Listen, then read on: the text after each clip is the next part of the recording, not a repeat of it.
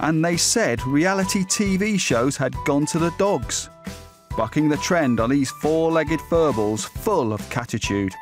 Keeping Up with the Kattarshians is an Icelandic online reality show which follows the lives of a group of kittens. The set is a large doll's house fitted out with cameras, so viewers can admire pure athleticism 24 hours a day. The show has been created in partnership with the Icelandic Cat Protection Society. Four rescue kittens move into the house for three to four weeks at a time. So far, the show has been a positive success, with many of the cats being rehomed. As each is adopted, another homeless puss takes its place. So if you're feline a bit bored, tune her in for the perfect evening of cute entertainment.